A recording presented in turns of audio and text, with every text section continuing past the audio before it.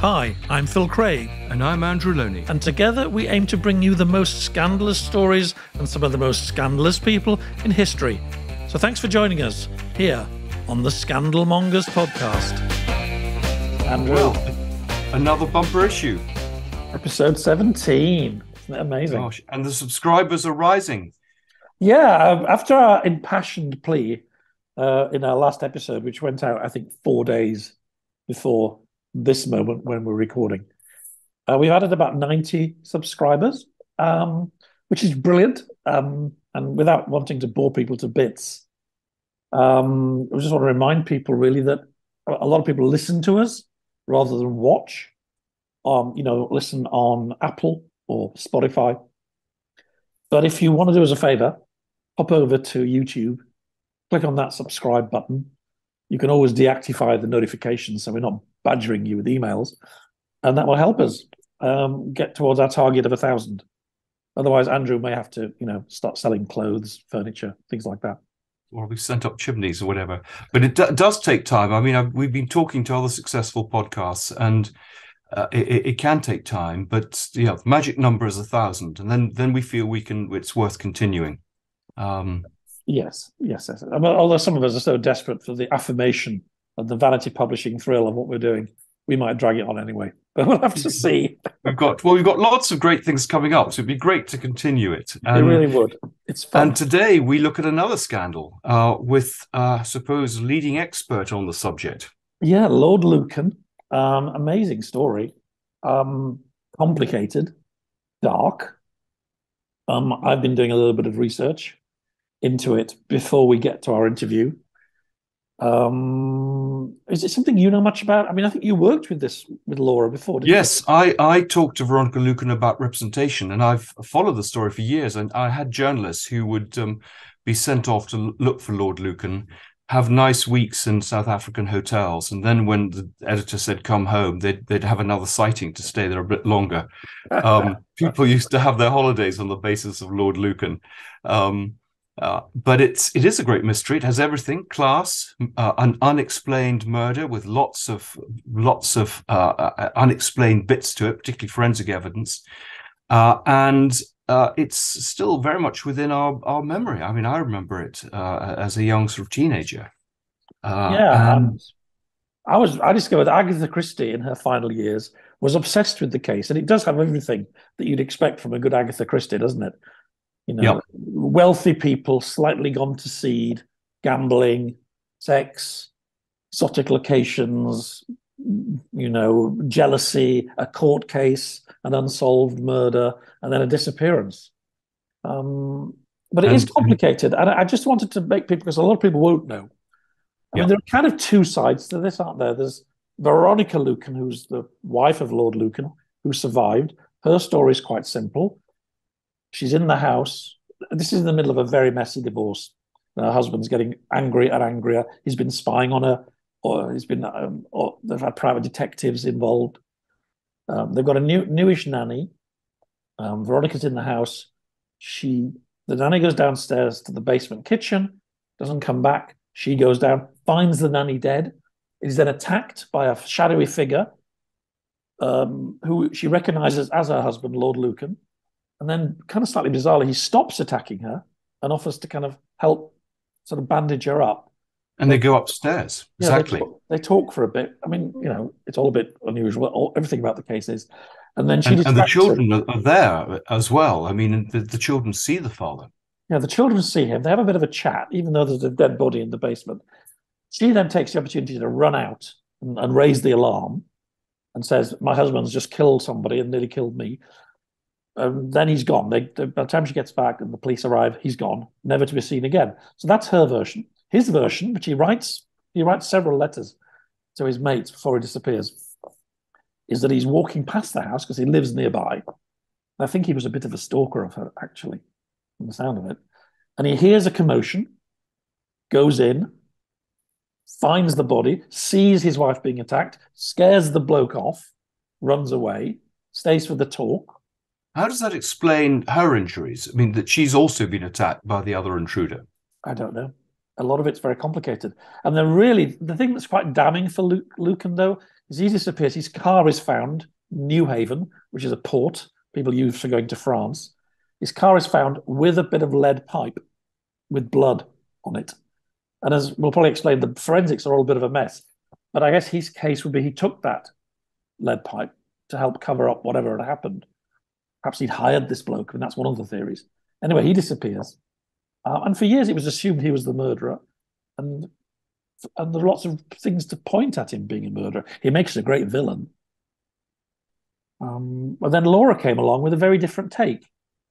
Yes, and a much more sympathetic take to Lucan. And uh, I find her take pretty persuasive, actually. I mean, here we have this. It was he. He sort of becomes a caricature of a sort of immoral aristocrat, um, gambling, and uh, and he turns out to be actually quite an intelligent, sensitive man. Plays the piano, devoted to his children, uh, and it's very hard to reconcile uh, this picture with with this this frenzied attack.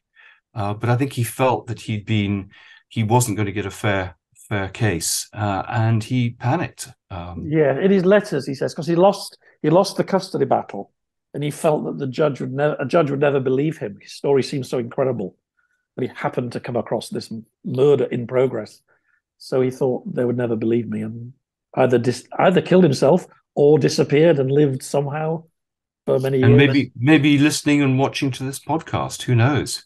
Well, if, if so, uh-huh. please subscribe we don't care about you're a murderer or not. We want your subscription. No, I'm sorry. Reveal his identity. That is so. No, sorry. But it's um, but it's yeah, it's a continuing mystery, and I think Laura has a theory which she's going to to raise in uh, in the discussion. It's quite um, brave of her, though, isn't it? Because we, we get attached to our stereotypes, and he, he does make a great villain. And to actually challenge the word of a victim, um, a female victim of male violence, and let's face it, there's an awful lot of that happens in our world is quite. But I looked. Veronica was a very unusual person. She had this weird website for years when websites were first a thing, in which she she she kind of attacks her own children and writes very strange stuff about the hats she used to wear and why going to the inquest of the nanny was all so important that she wore the right hat. I mean, and, and she does give contradictory statements uh, throughout her life, different accounts to the newspapers. She wrote books. Um, and indeed, I think it's quite revealing that she did fall out with children who I think made a big effort to to sort of try and include her in their lives, invited them to their weddings, which she didn't attend. But also that that even members of her own family sort of were not convinced that Veronica was was as innocent as she she proclaimed. I mean, I think the other person we have to remember is, of course, Sandra Rivett, the the the the the, the, the nanny who was murdered. She'd only been there, I think, ten weeks. She was very popular. Um, uh, I think Veronica was quite jealous of her, uh, and you know, I, I, think in sometimes these stories we forget about the victim. We're so worried, so interested to find out who, who did it. Um, but she just seemed to be a poor woman in the wrong place, and she herself had children the same age as the Lucan children, mm. and it's rather poignant. I think one of them only discovered um, much later in life, actually after he was adopted, who his real mother was. I mean, you got this book published, didn't you? You represented Laura. No, I don't represent Laura. no, I'm great. No, no, I'm a great admirer of Laura's books. She did, in fact, book on Agatha Christie. Uh, I think she's a very good researcher and writer, and um, uh, she just seemed to be the obvious person. If we're going to look at some scandals, this is a, a, a pretty juicy one. Certainly is. All right. Well, I think we've probably set the scene. What do you say? yeah, I hope people have got the sense of of of what happened at, on that night in 1974, uh, and then I think she can begin to explain a little bit more. Right, let's go to the interview. Well, we're delighted, Laura, that you can join us because I mean, your book really sheds enormous new light on the Lucan uh, story. In fact, you revised it, I think, after Veronica Lucan died. Mm. Uh, can you just explain to people what, in a sense, the Lucan story is about? Well, it's one of the greatest stories of the modern era, I would say. It's um, it all happened. Uh, well, it, it's coming up to fifty years ago, um, 1974, the famous night of the seventh of November, and a murder took place in one of those tall, stately white stucco houses um, in Belgravia, 46 Lower Belgrave Street, and the body of a young woman um, a nanny Sandra Rivett, 29 years old, was found in the basement of this uh, beautiful house.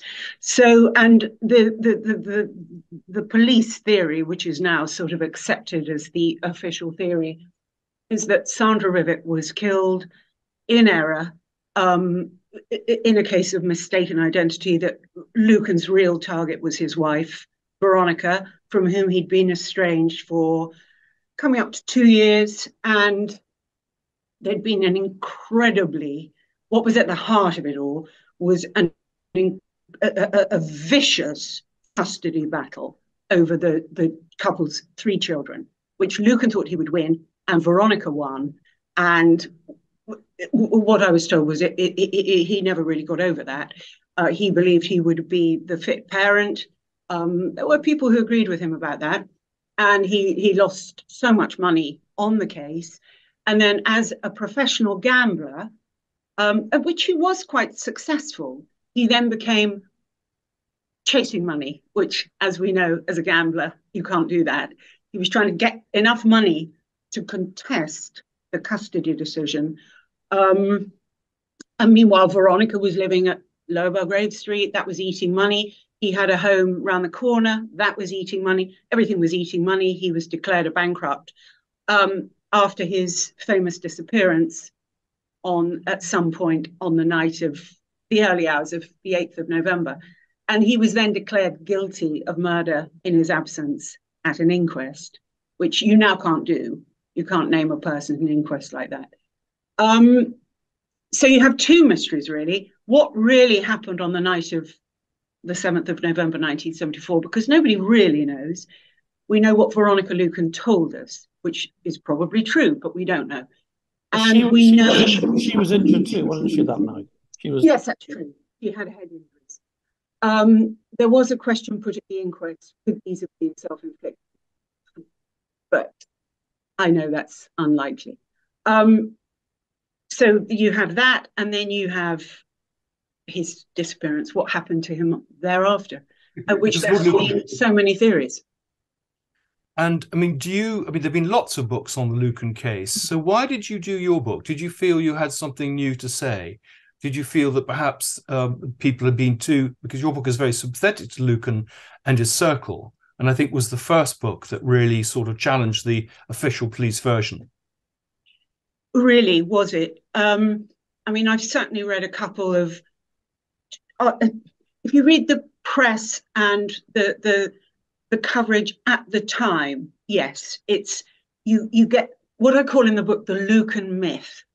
Um, and and I say in the book, you can't challenge a myth. You can't really challenge a myth. It will always pop back up again because it's so satisfying.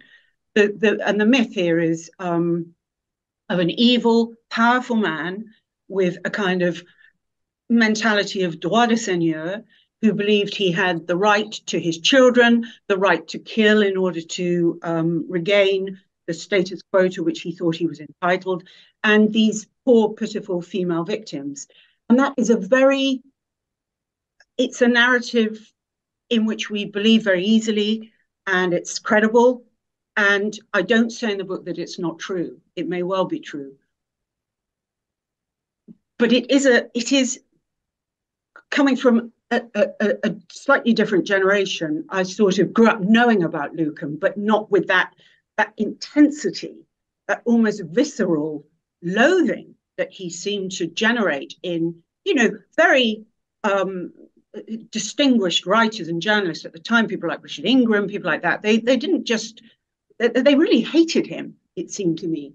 well, also his circle was seen as rather salute the Clermont Club and all that. Yes. And you, what you do is, in some ways, you use the murder as, as a way of talking about class at the time and changing social conditions. Uh, so it's not just a murder investigation; it's it's a sort of piece of social history, really, isn't it? Well, that's very generous, Andrew. Thank you. Um, well, it seemed to me so interesting to be an earl in 1974 who didn't have a lot of money. You know, it's all very well being an aristocrat who's like the Duke of Devonshire or something like that, and they're they're they're rich, so they can function in the modern world. But what the sort of metaphor that stuck in my mind when I um, was the Clermont Club that you um, mentioned which was where Lucan spent a, a, a, huge amount of his life, which was on Berkeley Square.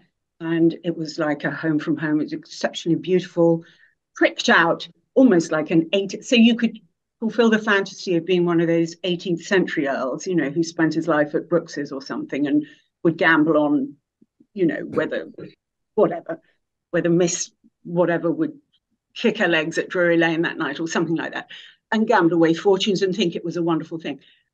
And the Clermont sort of recreated that atmosphere so Lucan could feel, I, I suspect, at home and very Earl-like. And he looked very Earl-like. But what happened when John Aspinall, who ran the club, sold it, um, and it was bought by Playboy.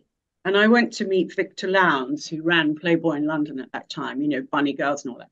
And he said to me, Oh, yeah, I brought in all those guys. You know, they sat there, they gave tone to the place. None of them had any money. Lucan none of his friends, they were all completely, they were all tapped out by Aspinall. They would sit there like waxworks while all the rich Arabs, the men who really had the power and the money, would come in and gamble and make the place um, lucrative.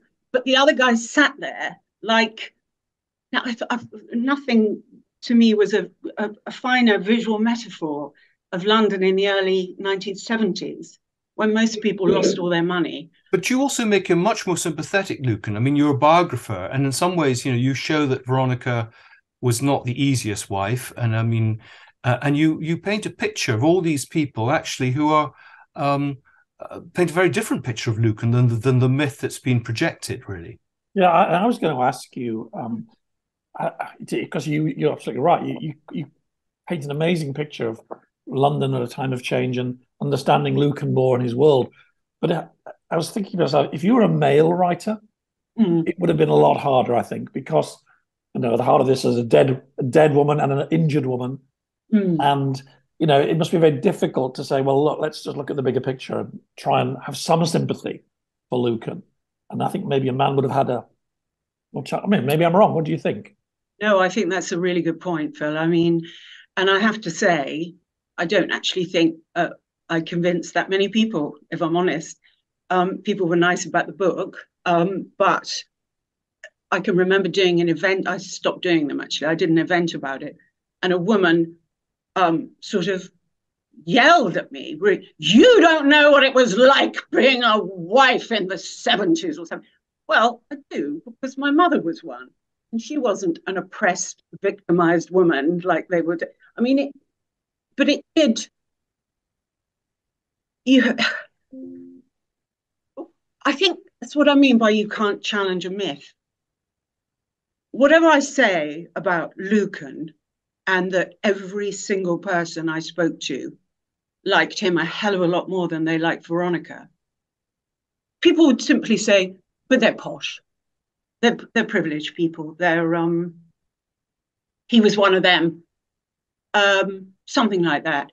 It doesn't matter that Veronica herself was a countess and that her own sister, Christina, who sort of started the ball rolling by talking to me in the first place, which I never dreamt anybody would do.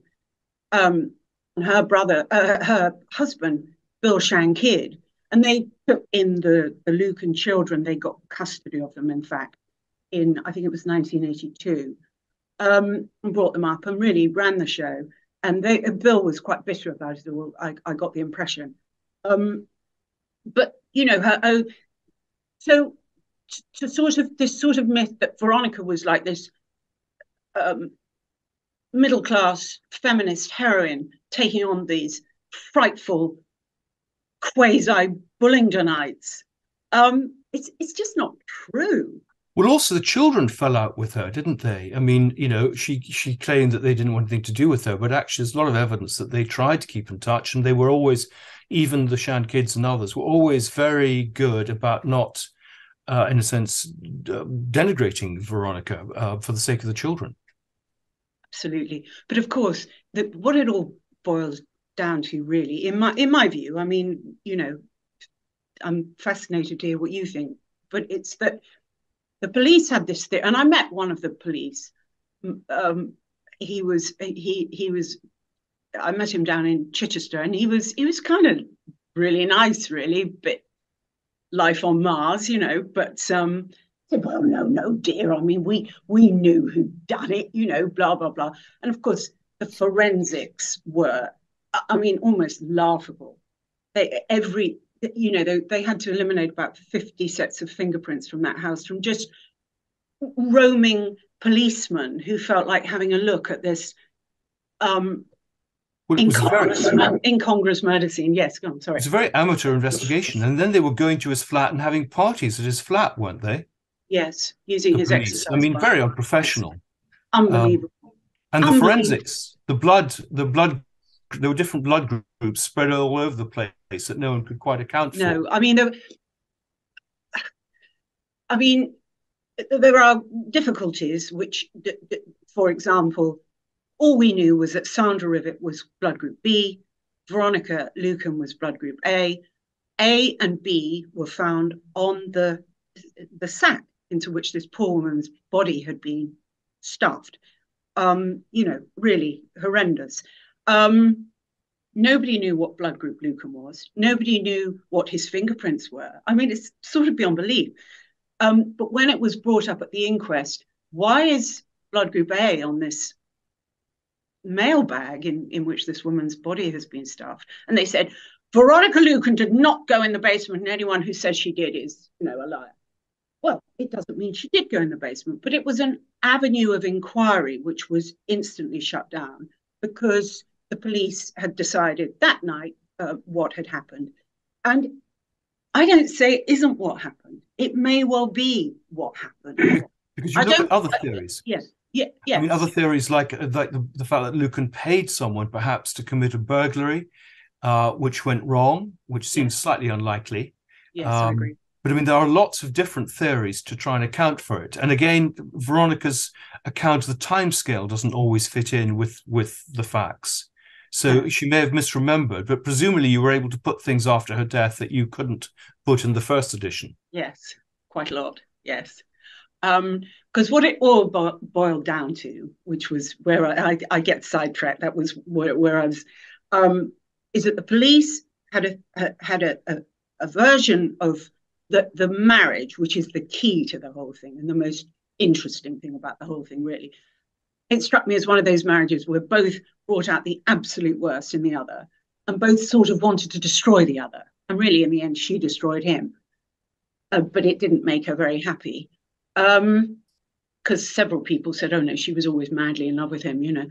And it, it, it boiled down to whether you believe the police notion that Lucan, instead of just divorcing her when they weren't getting on, decided to sort of gaslight her and uh, make out that she was going insane, taking her off to psychiatrists that she didn't really need to go and see, and thereby getting her hooked on drugs that she didn't need to be on from where from whence paranoia sort of spiraled.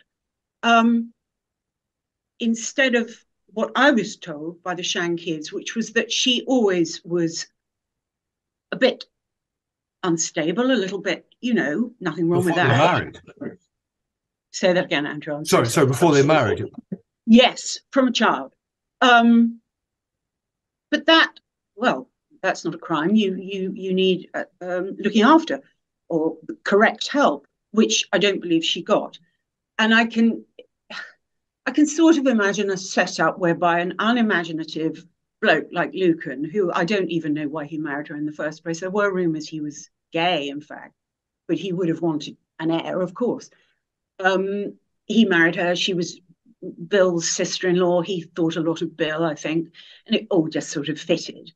Um, and, and her sort of getting postnatal depression and so on. I can completely understand him saying, Oh God, bloody hell, what am I going to do? You know, and doing not the right things, but not out of evil motivation, out of sort of unimaginative incompetence. Um, but it was a question of whether you believe the police version of events that he deliberately, he deliberately planted stories about her. He deliberately told all his friends that she was mad and evil. Um, I, I do find that quite difficult to believe, if I'm honest. But his story, You Sorry, know, Tim. his, his story was that he um, uh, sort of just happened to be passing the door and saw someone in there and popped in, which is- seems a slightly unusual explanation. Well, I was going to ask that. How do we know? Did Lucan ever give his own account of that night before he disappeared? Well, the, the- what Andrew's alluding to, um, he wrote that it's unbelievable how little we know. I mean, it's terribly frustrating. When I wrote the book, I thought, oh God, I'd give anything, sort of almost anything to know what really happened here. Um, because there's no theory, to my mind, that, that totally fits the facts. Well, I do have one, um, it's a bit off the We'll, ball we'll get to that later. yeah, you probably can imagine what I'm going to say. Um, It was But- Veronica. well, yes, that that's what two people said to me, two people who knew her very well. But she was very small compared to him. Well, it- it- it's not a very nice thing to talk about, but I could never understand why uh, uh, Sandra was very small, why it was such a vicious, prolonged attack. I would have thought a big man could have done it more efficiently, maybe. It was a prolonged. well, and- What was the motive for Veronica? Because I mean, Sandra was was they just been watching TV in bed together, um, not in, in Uh, bed together, but on the bed. well, so she says. Um, I don't think that's, yeah. Um, well, they were, Sandra was only there for about, I think it was 10 weeks. She hadn't even unpacked all her things. And, well, there are two schools of thought about why Veronica might have done it. One, she was paranoid about some of the nannies. Uh, I met one of the nanny. I, I met the nanny who was there before Sandra. In fact, she was very pro Lucan. Um, she thought Veronica was a total nightmare. But again, you come back. Did Lucan make her a nightmare? That's the thing. Um, but it, it, it it's it was she had an somebody said that she had the idea that Sandra was in league with Lucan, reporting back to Lucan uh, that she was an unfit mother, so he could get the children in the the, the upcoming custody battle that he really was seriously planning to revisit that judgment. Um, so she thought she might have thought Sandra was a spy on his behalf because that was something she sometimes said, or to frame him, to frame him. She was very angry he'd left her. I mean, and that's presumably why he disappeared because he felt he wasn't going to get a fair trial. Because I think the two other big questions is why did he disappear, and did he disappear, or is he still living in South Africa um, or wherever? Uh, and how and did the, the the Clermont Club and people in some ways uh, support his his disappearance? Because there were several people like Susan Maxwell Scott, the woman that he went to see in Uckfield that night, who didn't actually come forward to the police. Uh, it was only the revelation of a letter with a postmark from Uckfield that for that actually allowed the police to realize that, that he had been around that night. Absolutely. And there are lots of stories about decoy cars going to Newhaven. And anyway, I'll leave it with you. done that. Um, he was something else. He really was. Uh, very entertaining, but goodness me. Um, and that relates what Andrew's just said there, relates back to what you, the question you asked, Bill, which was he wrote a letter to Bill Shand Kydd. He, he wrote two letters, in fact. But in one, he said, I was walking past the house and um, and that was also the story that he told Susan Maxwell Scott. She said, I'm sure he didn't, that um, he was walking past the house, looked in the basement, saw an attack going on, and rushed in. Of course, that's rubbish. Um, but that was his, you know, what he came up with. But um, my problem with did he disappear is I don't know what the hell he's been living on for 50 years because he had no money. He was bankrupt. Most of his friends had no money. The only ones who had any money were James Goldsmith, um, whom I seriously doubt would have spent money on supporting Lucan in Botswana or whatever, and John Aspinall, whom uh, who, the, the Clermont, the creator of the Clermont, really, whom I sort of blame for a lot of this, really, because he was, um, you know, this kind of ringmaster aspect that he had talking to the police, talking to the press, you know, um, giving the whole set an extremely bad name, and rightly so, because when you read some of the things he said, they come across appallingly, just appalling. This terrible arrogance and all this rubbish about, oh, John Lucan was a, a, a superior being and all this drivel. Um, but the others whom I met before they died were not like that at all. And I mean, Charles Benson, whom I used to see as a child at White City Dog Track when I used to go there with my father, and he was just a sort of he was a bloody racing tipster in the newspapers. The idea that these people were rich and powerful masters of the universe, it's it's terrible, you know, it's so silly, I think. But I think he died that night, Lucan. I do. Um, and how did he die? Well, I would imagine the the, the old fashioned theory that he jumped off a um, jumped off a ferry. Um, I mean, Veronica always said into the propellers of the, of the boat so yes. that his body couldn't be found. That he did that deliberately out of yeah. a noble. Just a very sort of horrible way to die. Yeah. Um, somebody else said that. Stuart Wheeler, do you remember him? UKIP man. Uh, he was, I mean, he was very interesting about it. And he said Michael Stoop, whose car Lucan had borrowed and was going about in, a tatty old car, so he could sort of see what was going on um, at Lower Belgrave Street with the children. He, Michael Stoop said that, um, not even deliberately, he just jumped and he did get caught in the propellers. But I mean, people do disappear, don't they? Because I mean, the fact that there were so many sightings, there's stories of children being given passports to go to Botswana. I mean, there are numerous documentaries. I mean, you know, with enough evidence to to perhaps raise questions that he he may have survived. Um, Sounds like you think he may have done. I, I, don't know. I have an open mind on it, yeah. uh, but it's of the myths continue. And I think, I mean, are, are, there some people still alive from that circle now, or are they all dead? I mean, you have this great contact who was an old Etonian school friend, for example, yes, that you don't he... name then, and I don't know if you can name now. Well, he uh, he is dead, um, but I sort of made a very firm promise. But he was a very upright, what you know, individual. He was a very impressive, you know, great and good and all that.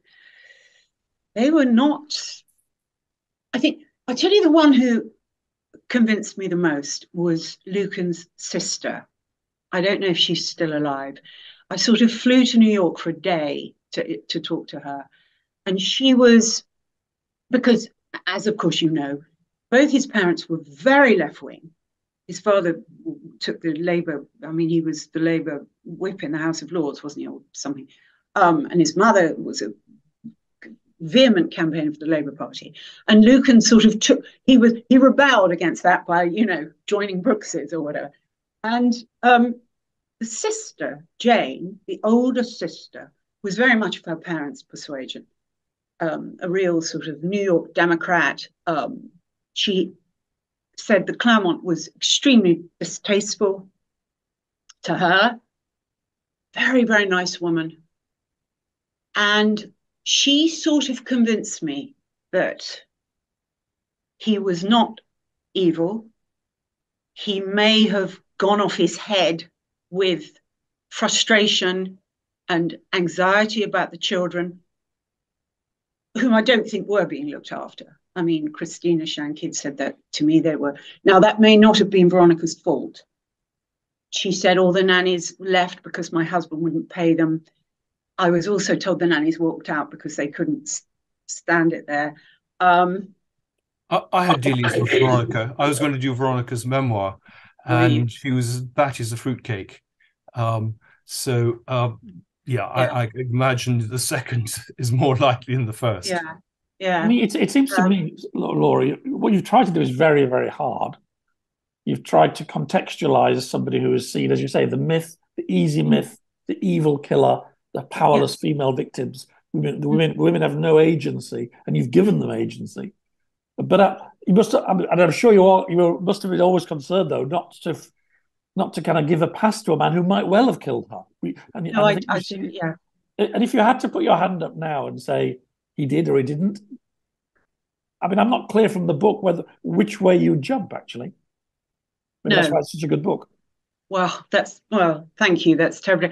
I was very convinced by people saying to me he was squeamish.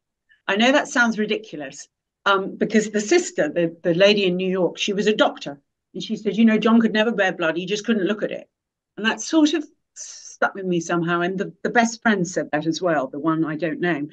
Um, what also struck me was how grief stricken they were about it all. They were very conscientious about Sandra, and because I know she's been the forgotten person in all this. But you uh, do, her, you do talk about her life. Uh, oh, well, actually. I hope. Yeah, I hope that's so. Um, she had had a very tough life. I mean, she had she a young child the same age as one of the Lucan children, uh, who's been brought up by her parents, and indeed yeah. another child that had been adopted. Who um, thinks he's found Lord Lucan? Really, because also he only discovered who his mother was when he was given an envelope. I think when his mother died, his yeah. adopted mother. Yeah, yeah, appalling, appalling. What a mess! What a mess. Yeah, exactly. So that was what struck me with with uh, particularly the the sister. I mean, she was palpably upset. Um,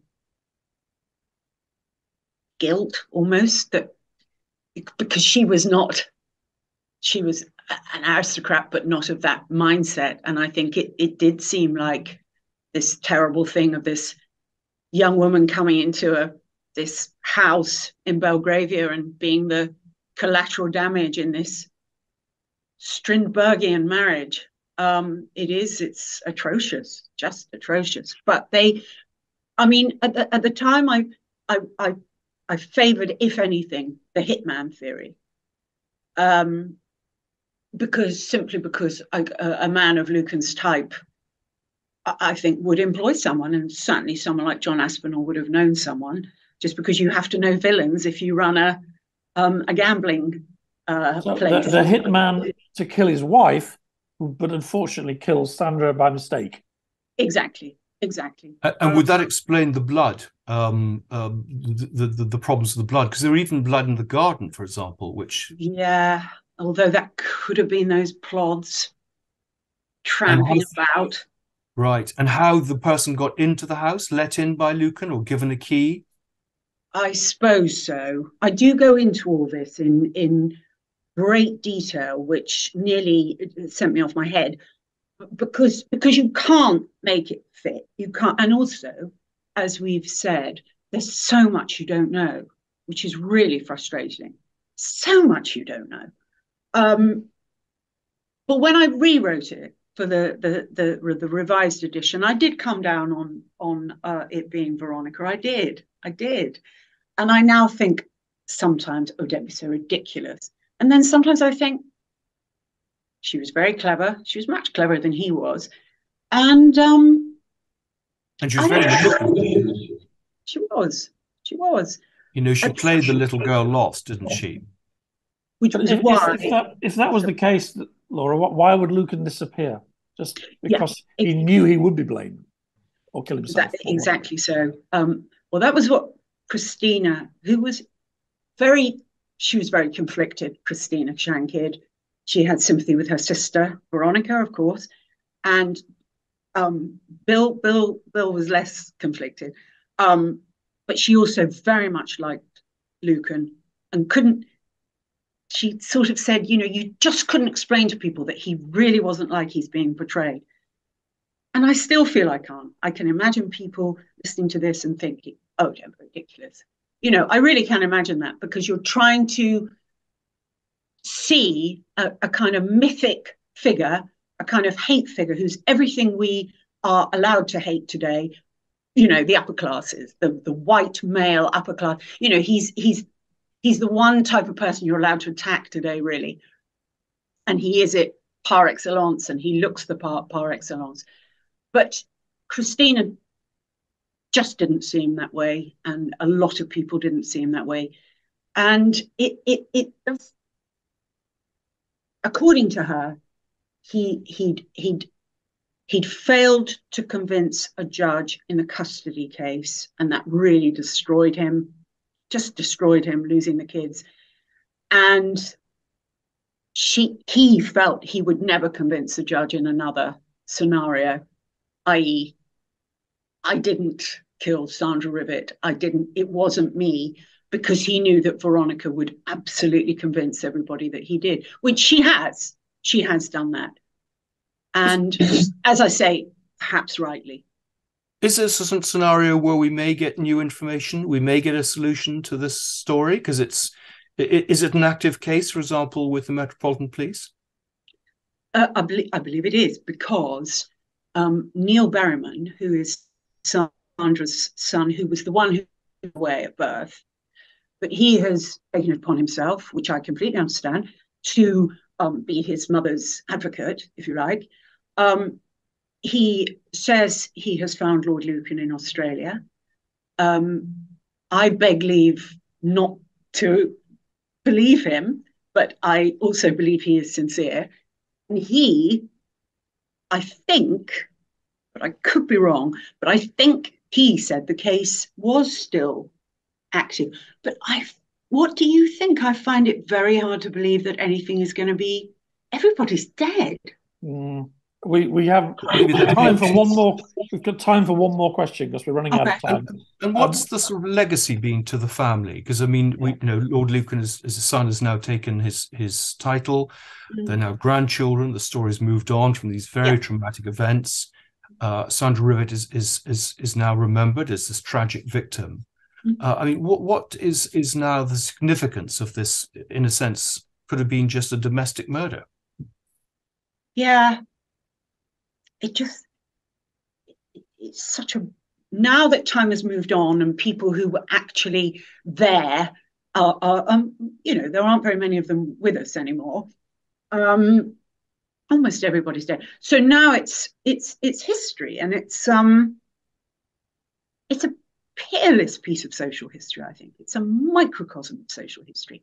Like I said earlier, that shift from aristocratic London to money London, um, the whole the class structure, which is kind of uh, uh, uh, like the, the emblem of it in that house, um, that down in the basement is where the, you know, I mean, the, the these dark, terrible deeds took place. And the, the it, it's a, a perfect emblem of what fascinates us maybe it shouldn't, but it does, about murder, you know, the, the perfection of the facade and what goes on behind.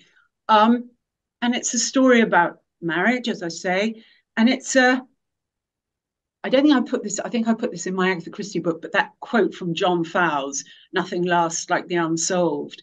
And I, I just I just think it's one of those. Mm. Um, and as I say, now it's it's now there's a whole load of people who haven't even heard of it.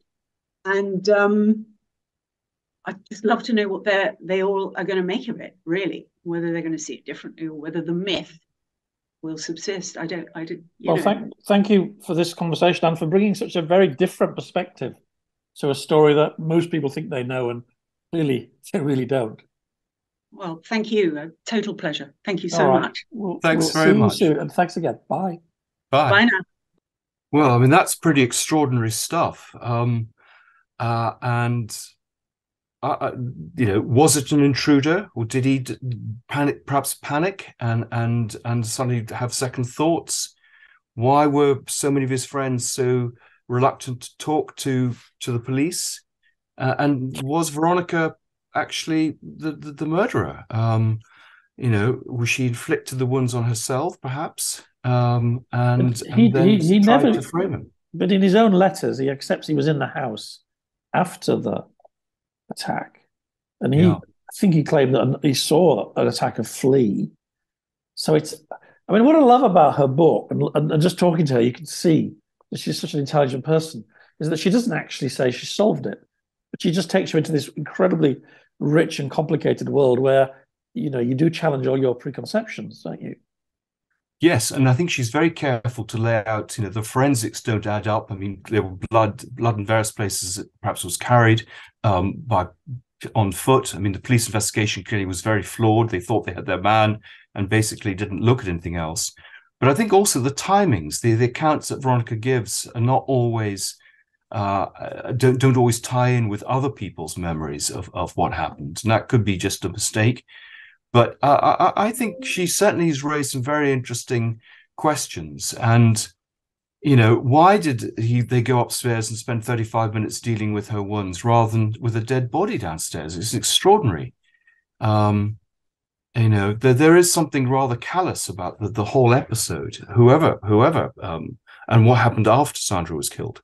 Mm, Yes, and as you said uh, at the beginning of the of the show, um, you know, Sandra, the victim, it it seems so very unlikely that you could murder somebody who doesn't look like the person you're supposed to be murdering at all. Um, and and and the, the police would assume that that was a mistaken identity. Uh, yes, and it was quite light down there. Though I think one of the rather sort of I think sad things was the fact that the light bulbs were, were weren't working.